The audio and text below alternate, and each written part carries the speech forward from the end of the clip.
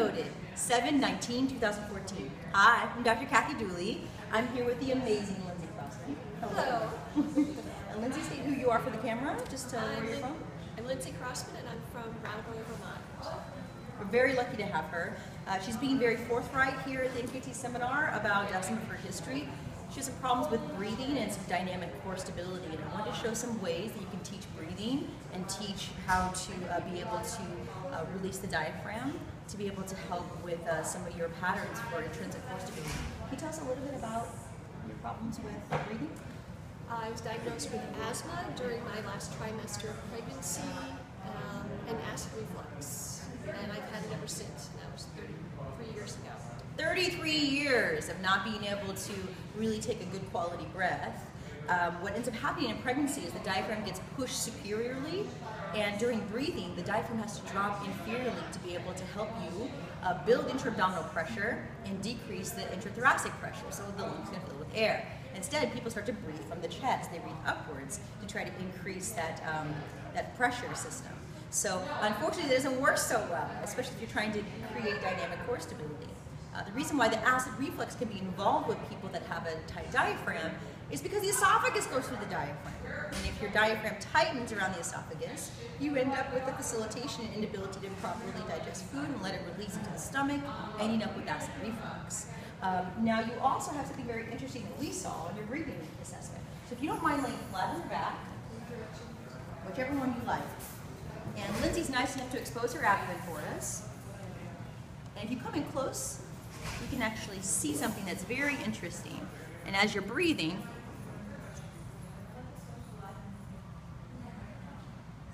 can see her heartbeat pretty steadily.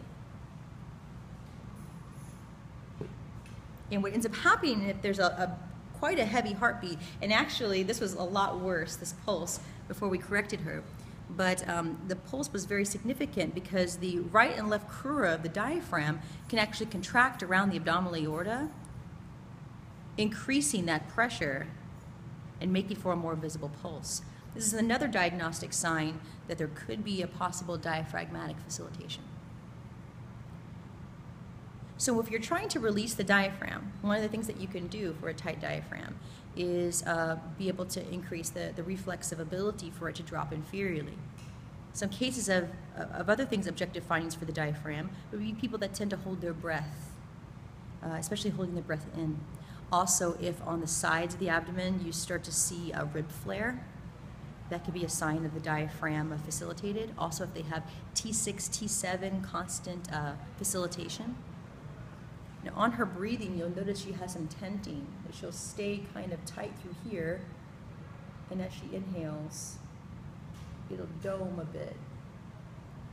And Lindsay, this was much worse earlier. We definitely have been working on it. So, um, in order to release the diaphragm, what you can do flexibly is fine where the diaphragm is innervated by phrenic nerve, which is pretty close to one of these dented spaces. So you come on the lateral abdomen, and you start to stimulate a space where you find a sore spot or a little dent. This is quite close to where the phrenic nerve, that's it. and um, I think, I believe in DNS, they call this the breathing zone. So you start to stimulate that as she tries to breathe in and up to the ceiling. We're trying to fill this like a dome. Proprioceptively, you can cue them to breathe through here. We'll get to more of that in a second if I'm wanting to release the diaphragm, I don't have to dig my fingers in underneath her costal margin. That's actually quite painful. So what I can do for Lindsay is have her reach this arm down, have her turn her head this way, and as she coughs, that creates an eccentric contraction of the diaphragm, and I can actually push this and flick this, creating a myotatic reflex for the diaphragm. And then go ahead and cough for me. And one more time. It's an incredible way, it's very effective of being able to release the diaphragm. As we come back to center, we start to look and start to cue her, and you can already see she's doming much better. But I can proprioceptively cue her by adding a little pressure here and saying breathe into my fingers.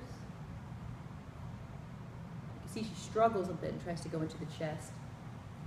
You start at the front, both at the thorax and at the lumbopelvic region here.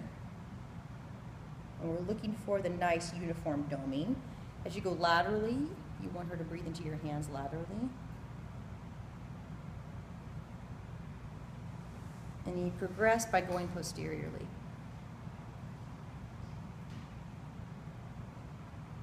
I'm blocking her a little bit, so I'm going to stand up. And breathe into my fingers here. If you find they're not quite successful with the posterior part, don't worry, it's the hardest one to get. So you can have them flip over onto the belly. Just crocodile breathing, hands under forehead for me, Lindsay. Remember, try to relax the thorax as much as possible. People with thoracic extension issues and ability to properly mobilize the thorax might have breathing problems as well in chronic diaphragm facilitations. Take your breath. So she goes right to here, right? So try to relax here. Good. And breathing through here. Breathing's not just about an A to P movement, anterior to posterior movement of the belly. It's a 360 motion for stability. So we definitely want to work on her ability to, to extend the thorax and then mobility through here. We want a nice mobile thorax. And the diaphragm's attaching over to T6, so um, as well as the lumbar vertebra.